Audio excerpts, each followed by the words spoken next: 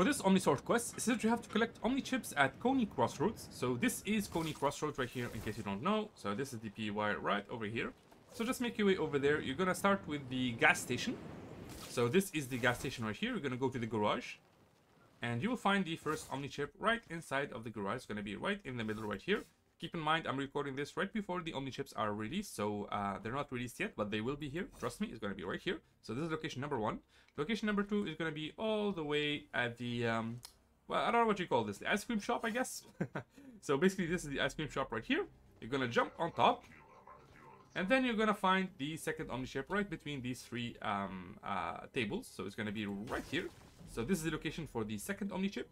And the third and final Omni chip is going to be um, at the third building right here. So you're gonna go behind the building, not inside of it. Right here, and the third omni-chip is actually gonna be right on top of this fountain. So it's gonna be right on top of this, like the top, the tippity top of the fountain. It is uh, where, where, I'm, where I'm, um, where I'm standing. So this is gonna be the location of omni-chip number three. Beautiful.